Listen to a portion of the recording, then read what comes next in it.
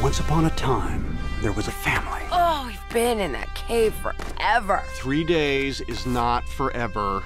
It is with this family. Meet the Croods. I call this a snapshot. Ah! Oh, let's do it again. I think I blinked.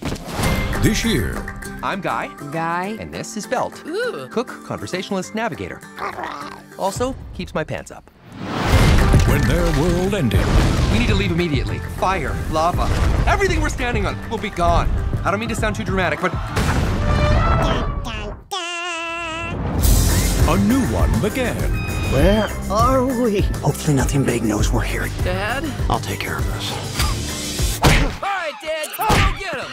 Oh, man, they were really...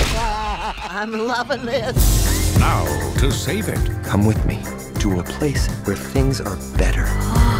They'll have to survive each other. It's my job to keep you safe. Wait, looks dangerous. Dad, you say that about everything. Careful. Oh, really? Okay. From the creators of Madagascar, Our whole family packed together on a long, slow trip across country. We'll become closer as a family. and How to Train Your Dragon. It's so beautiful. I did not see that coming. The last caveman on Earth will become the world's first modern family. Boy's gotta have a pet. I'm gonna call you Douglas. Can you do tricks? Roll over. Good boy, Douglas.